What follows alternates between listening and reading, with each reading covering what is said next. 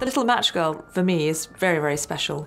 It's, of course, based on the Hans Christian Andersen classic story, sad story of the little match girl trying to keep warm on a cold winter's night. But Arthur Pita, the choreographer, brings it alive with wonderful live music, dance, song. And actually, you come out feeling much closer to the little match girl and less sad about what happens to her.